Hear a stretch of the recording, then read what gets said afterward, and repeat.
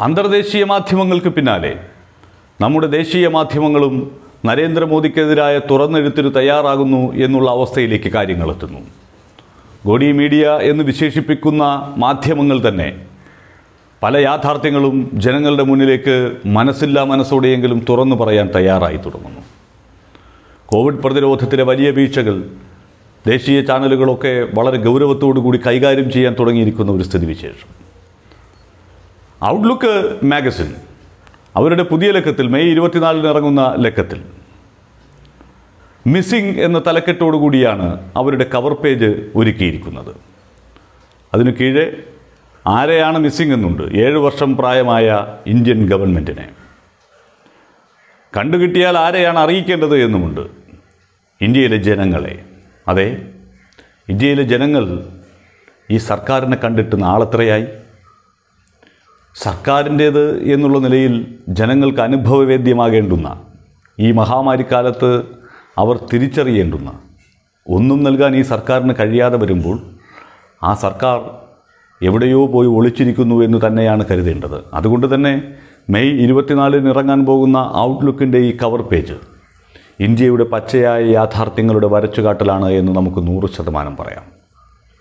Missing ഇതിനോട് ചേർത്ത് വായിക്കേണ്ടുന്ന ഒരു കാര്യമാണ്. രാഹുൽ ഗാന്ധി ഒടുവിൽ നടത്തിയ പരാമർശം.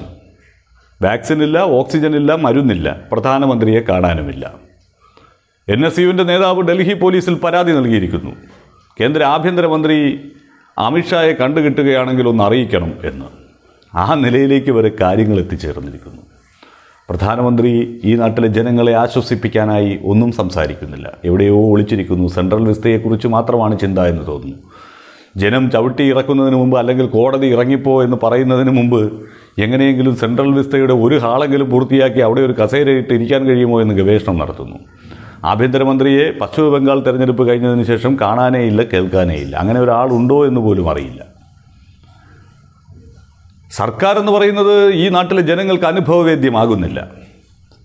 അതുകൊണ്ട് തന്നെ ദ ഔട്ട്ലുക്കിന്റെ ഈ കവർ പേജ് എന്ന് പറയുന്നത് വർത്തമാനകാല ഇന്ത്യയുടെ നേർചിത്രമാണ്.